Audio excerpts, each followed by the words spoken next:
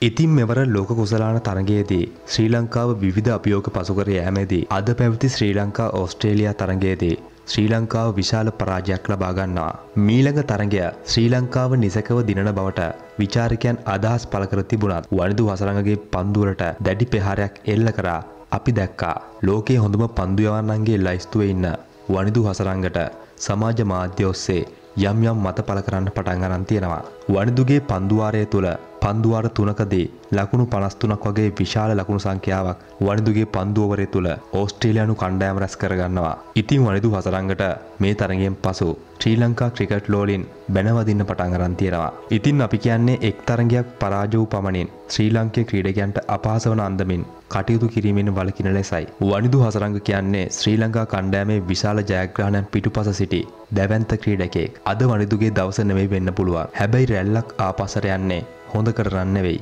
ඉතිං වනිදු හසරංග කියන මේ දැවන්ත ක්‍රීඩකයට මීළඟ තරගේ හොඳින් කඩුල් ලබා ගන්න අපේ නාලිකාවෙන් සුබ පැතුම් එක් කරන අතර පහත කමෙන්ට් ඔස්සේ මෙම ක්‍රීඩකයා දිරිගන්නන්න ඔබේ අදහසත් දක්වන්න අමතක කරන්න එපා.